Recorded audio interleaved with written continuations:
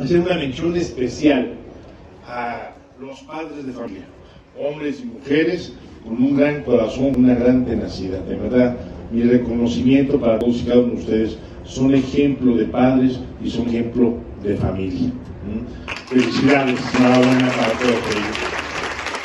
A los maestros y a las maestras pues, que le con mucha fuerza, ¿eh?